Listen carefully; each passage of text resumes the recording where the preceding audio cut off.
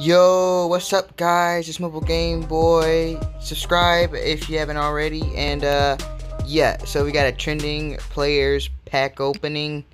Uh if you don't understand leave in the comments. I'll make a video either get back to you in the comments on that.